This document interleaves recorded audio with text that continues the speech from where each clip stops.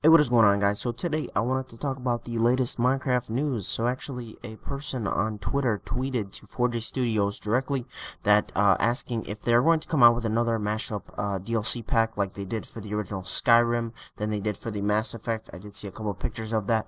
Um, they actually tweeted back that they're actually working with their art um, department and they are looking good, which means that the upcoming DLC will rather be a mashup pack. I'm not sure exactly for the Xbox 360, PlayStation 4, 4, PlayStation 3, or Xbox One.